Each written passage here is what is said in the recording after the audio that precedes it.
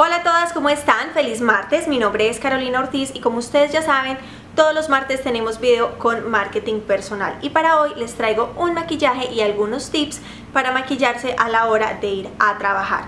Pero primero, antes de comenzar, les debo decir, uno, no tratar de estar del mismo color de la ropa, o sea, no, no hacer que las sombras sean de los mismos colores de la ropa, sino si algo, un toque de los accesorios. Esto ya se los he contado anteriormente. Número 2, quedarnos siempre con los tonos tierra y no salirnos de esa gama de colores básica que son los cafés, los grises y un poquito del negro. También hay veces le podemos meter color, pero preferiblemente quedarnos en esos tonos básicos. Si estemos en la oficina, usar siempre un protector solar y una crema hidratante porque los aires acondicionados de las oficinas y las luces, bueno, el aire acondicionado reseca la piel y la luz la puede quemar y manchar con el paso del tiempo. Así que a cuidarse mucho la piel también en la oficina y espero que les guste mucho este tutorial de este maquillaje tan sencillo para hacérselo todos los días.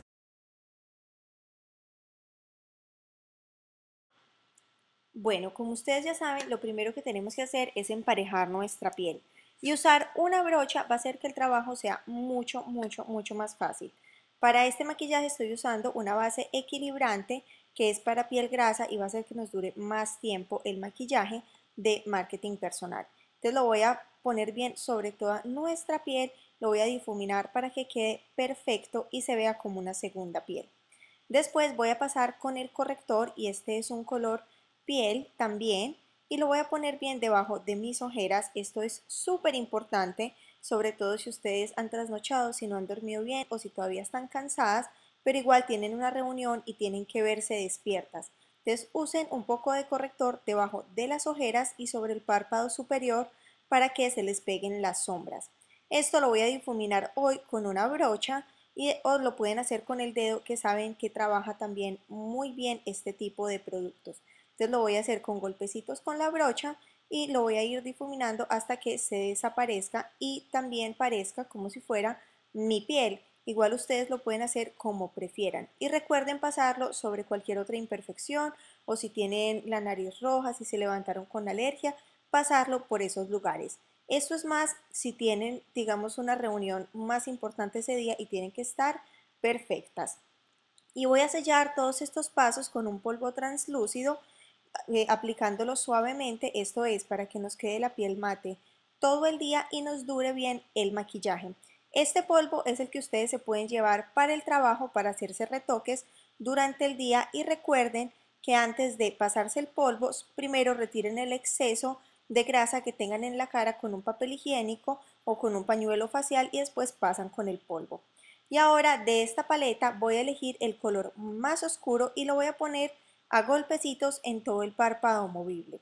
Este maquillaje es súper sencillo y lo vamos a mantener así porque sé que por la mañana preferimos muchas veces dormir 5 minutos más que estarnos aplicando maquillaje. Voy a difuminar bien en la parte de la cuenca este mismo color para que no se nos vea fuerte, sino que se vea como una transición. Y esa misma paleta que usamos voy a usar el color más blanco y lo voy a poner en la esquina interna del ojo. Esto va a traer luminosidad, va a abrir la mirada y nos va a ayudar también, si ustedes no han dormido bien, va a tener el mismo efecto que el corrector de ojeras que va a traer luminosidad a la mirada. Y voy a pasar con ese mismo color oscuro que pusimos en el párpado, delineando la parte de abajo de la línea de los ojos. Esto es para darle continuidad. Y voy a terminar los ojos delineando con un lápiz negro para darle fuerza a la mirada y para que se vea mucho más viva la mirada. Entonces voy a ponerlo, lo pueden hacer muy pegado a las pestañas o como yo que voy a hacer un semi delineado de gato. Y por encima voy a pasar con una sombra negra a golpecitos poniéndola sobre el delineador para que nos dure todo el día. Lo hago a golpecitos para que no se nos vaya a caer en la parte del corrector. Y voy a terminar entonces poniendo mucha pestañina en los ojos. Recuerden siempre optar por una pestañina que se caiga con el agua para desmaquillarse fácil en las noches. Y ahora voy a usar este dúo de rubor y voy a utilizar el color más oscuro para darle un poco de contorno a mi cara y broncearla en los lugares donde necesite, que sería casi toda la cara porque estoy más blanca que un papel. y después voy a terminar entonces con un rubor, con la parte del rubor un poco más clara de, esta misma, de este mismo dúo y lo voy a poner entonces en las mejillas, poniéndolo bien, bien, bien en las manzanas de las mejillas hacia atrás. Como ahora por el embarazo la cara se me ha puesto más redonda, es importante que si ustedes tienen la cara igual, tirar siempre el rubor hacia la parte de atrás, hacia las sienes para que se vea la cara más estilizada. Y por último voy a terminar entonces con este labial que es como un rosa viejo. Eh, acá no sé bien cómo lo estoy aplicando, pero la verdad no tiene ciencia, solamente aplicarse el labial y ya con eso estamos terminando nuestro look. O sea, es súper fácil, lo hacen 5 minutos antes de salir y quedan listas. Espero entonces que les guste.